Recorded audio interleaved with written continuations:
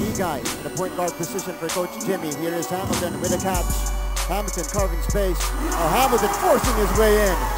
Peron getting the rebound for Saigon. Hamilton starting the break. Hamilton got the contact. Oh, it doesn't matter. He scores off the glass.